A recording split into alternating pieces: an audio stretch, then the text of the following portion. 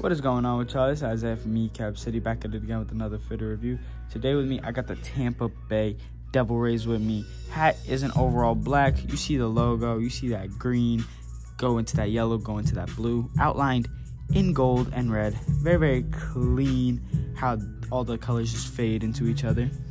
Same thing with the side patch, Devil Rays inaugural season. How the colors just fade. We got that red going into that blue, going into that lighter green to that yellow. Pay attention to details, man. MLB logo on this hat is very, very special because it has that gold outline and we see that hint of gold in the Batterman.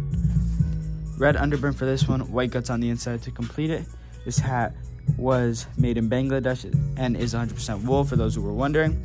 We stay dropping every single Thursday, so be on lookout, man. I'll see you guys next video. Peace.